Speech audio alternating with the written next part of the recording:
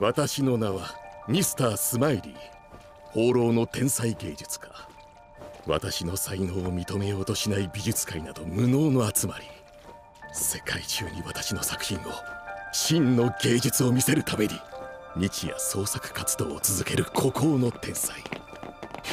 おとなしくお縄にミスタースマイ私の創作を妨げることなど誰にもできはしない。そう誰にも。